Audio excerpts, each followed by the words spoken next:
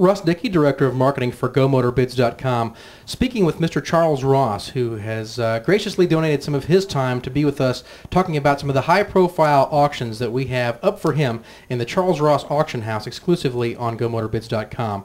Over the months, you have seen some incredible items, various pieces of artwork, collectibles, sheet metal, race used uniforms, but none match the quality and caliber of this particular piece. When our representatives from GoMotorBids.com first saw this piece, we actually couldn't believe that it resided in a private collection. We thought for sure this piece had to be in one of the RCR or Earnhardt museums. So imagine our surprise uh, and how our mouths dropped when we entered Mr. Ross's incredibly uh, uh, well-organized uh, col- collection in his garage, and we saw the holy grail of Dale Earnhardt collectibles. This, what you are looking at, ladies and gentlemen, is the hood from the famous crash car, the 1997 uh, Monte Carlo that Dale Earnhardt flipped several times at the Daytona 500 only to get back in the car and finish the race. You have seen that car replicated many times in die-cast collectibles and various pieces of art. But this is the actual hood from that car. Now, Charles, I've got to ask you, this this again, holy grail of Earnhardt collectibles. Right. How did this wind up uh, in your collection? Well, a friend of mine who works at RCR, she called my wife and said, uh, you know, there's a chance you could get a hood from Earnhardt's car. Are you interested?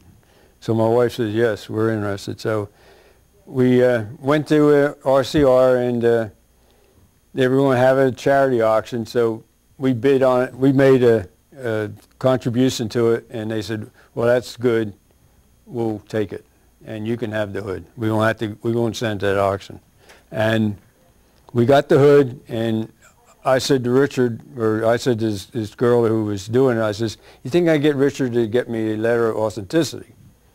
And she said, yeah. So we called Richard up, and he was in his office. I went and talked to him, and he said, oh, yeah, we'll, we'll type one up. So we made this we made this uh, letter of authenticity right in his office, and his daughter typed it up, and uh, it's got signed by Richard Childress, and Richard also signed the hood, and Larry McReynolds signed the hood.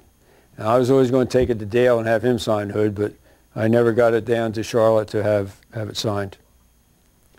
Quite possibly the ultimate collectible for Earnhardt fans, anybody who collects NASCAR memorabilia, this is a true piece of history. You have seen that clip many, many times in numerous NASCAR highlights, uh, in the Dale Earnhardt movies. It is something, probably the number two moment next to Earnhardt's 98 Daytona 500 victory uh, that people most remember about Dale, uh, that, you know, personifies his toughness and his determination to, to not only win races, but to finish races. This piece, again, this is the hood off of the 1997 Daytona 500 Monte Carlo, the crash car as it's become known. You'll notice signed, as Charles said, by then crew chief Larry McReynolds and team owner Richard Childress. It also uh, it has all the dings and dents that the car had when uh, when it crossed the finish line. It has the electrical tape that they had to patch over the hood pins to hold them down. Underneath the hood on the backside, it has chunks of, of rubber from the tires. Uh, you know, and it's absolutely amazing. You will never ever see another piece like this. Uh, we can we can guarantee you we've never had anything like it on GoMotorBids.com ever before. You'll probably never see anything like it again. This is your one and only chance uh, for for you to be able to get the one and only crash car hood from the 97 Daytona 500 Monte Carlo, uh, driven by Dale Earnhardt.